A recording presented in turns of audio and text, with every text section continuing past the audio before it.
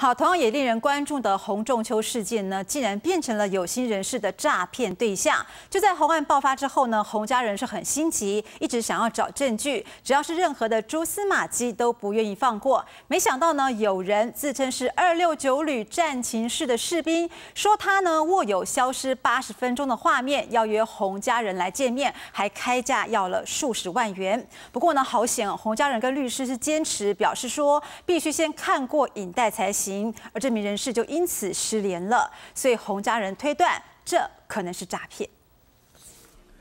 桃园地检署公布洪仲秋在二六九旅禁闭室的操练过程，不过关键时间的画面就是怎么找都找不到，让急着想找证据的洪家人相当煎熬。这也引来有心人士看中这一点，想向洪家家属索讨高额金钱。洪家妈妈说，在洪家积极想找关键画面的时候，就曾经接到好几名人士说手里有关键画面，其中有自称是二六九旅战情室的人向洪家表示握有关键的八十分钟影带。他说他是里面在。战情室的人，哎，在操控那个机器的人啊，他说他已经退伍了啊，他有拿到那个东西要消灭之前，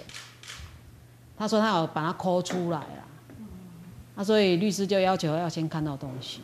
当时对方说已经将七月一号洪仲秋倒地的八十分钟画面备份，要求洪子庸北上到一间餐厅见面，不过一开价就是几十万元，坚持要先付款才给画面。心急的洪家人答应先给十万，不过律师团认为可能被有心人士利用。啊，尾啊，律师伊拢有讲，只要牵涉到钱的，拢袂使计较。嘿，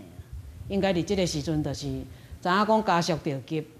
伊特别看第遐物件，伊特别爱真相，所以应该是掠家属的心理，所以应该照律师咧讲，是应该拢要来骗钱。律师团坚持要先看到监视画面，结果这名人士就突然失联。家属不排除对方根本是诈骗。事实上，在红案爆发之后，洪家就接到不少人透过各种管道说要提供有利线索，不过很多都是要求先付款，让洪家很困扰。而期间，除了政府高层多次到洪家致意之外，还有许多不明人士或是民众直接来到后里洪家，有关心致意，也有人半夜敲门谩骂，让家属感觉生活被打扰。当地警方已经加强巡逻，希望让洪家尽快。恢复平静。记者李建生、彭焕群台中报道。